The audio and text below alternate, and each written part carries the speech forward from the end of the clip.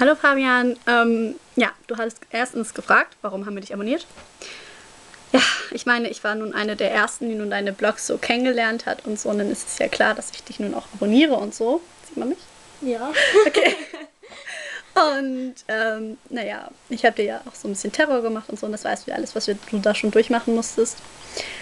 Ähm, ja, deswegen habe ich dich abonniert. Außerdem finde ich dich cool und so. Und zum Zweiten, was ich schon immer mal über dich wissen wollte, ist, ähm, warum fährst du auf die zweite mit und nicht auf die erste? Wie sollen wir jetzt einen Tanzkurs machen? Und drittens, was ist ein Oimoi? Ich hoffe, du kannst mir die Fragen schnell beantworten. Wir sehen uns dann auf der ersten.